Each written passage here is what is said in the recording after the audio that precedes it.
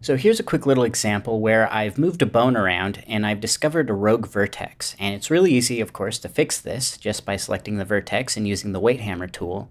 Uh, but now I need to get the bone back into position, and when I undo, unfortunately, that undoes my skin weights as well, and I don't want that. So the more appropriate tool in this case is to use the Go to Bind Pose feature in Maya, but when I click it, nothing happens. Uh, unfortunately, this is a pretty easy feature to break. So stay tuned because I'm going to be going over Bind Pose in depth, including how to fix issues like this one.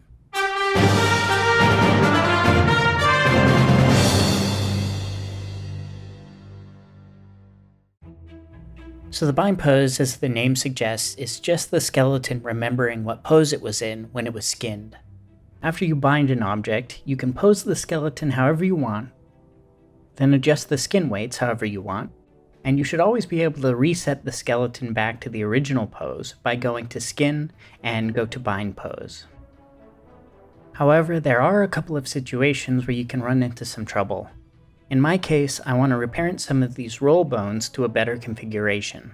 Now, when I attempt to go to bind pose, it fails. Reparenting joints will unfortunately break the bind pose for those joints. But of course I don't want to have to reparent these joints every time I want to go to the bind pose. Luckily, we can reset the bind pose to this new configuration with a bit of Python or Mel that we can then put on the shelf or assign to a hotkey. So to do that, let's open the script editor. And the first thing I'm going to do is import maya.cmds. Then we're going to use the dag pose command with the bind pose flag as well as the reset flag. And running that will reset the bind pose on any selected joints, making sure that the bones I want to affect are selected. I'm going to select all of our text and hit Control Enter or enter on the number pad to run the script. I can move the bone out of place again. And when I go to bind pose, it works this time.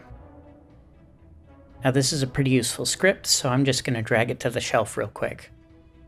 I'll also give it a useful label and a tooltip.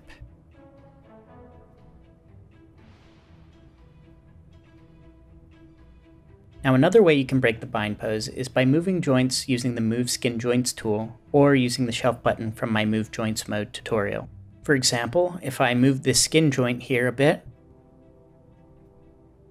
then try to go to bind pose, it'll actually affect the bone this time, but it puts the bone back to where it was before I moved the joint, which is no longer the proper location. So what I can do, if I undo to right after I move the joint, is I can make sure that the joint is selected and hit the reset bind pose button we created earlier.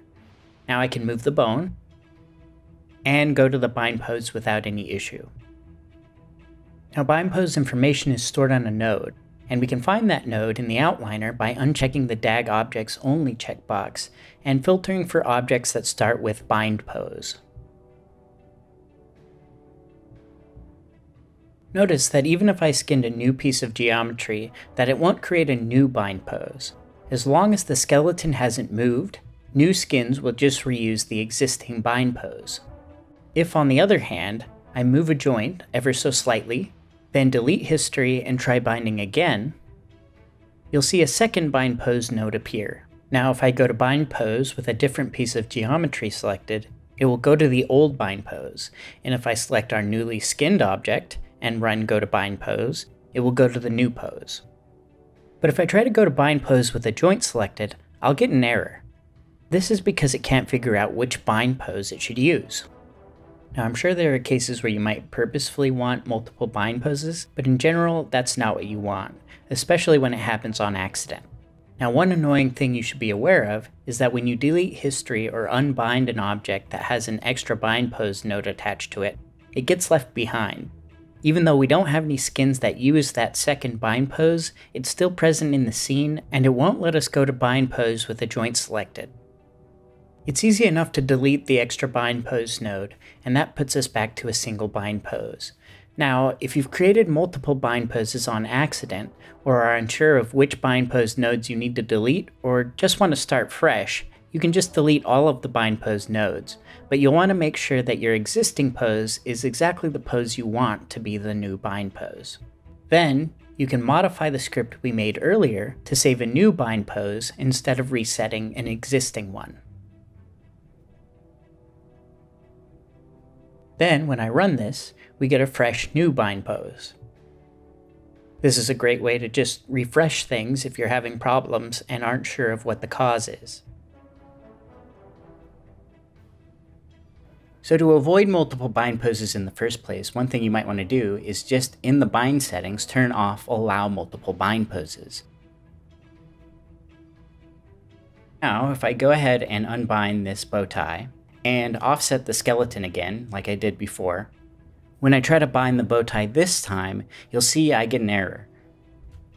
And the reason this happens is because it won't let me bind unless I'm in the original bind pose that I bound my other meshes in. So if I go ahead and bind things in the same pose I was in before, I don't get an error this time and everything works okay. So this just makes sure that whenever you bind a mesh, that you're using the same bind pose as when you bound all of your other meshes. And that's all I have for the bind pose tutorial. Hope that helps you out.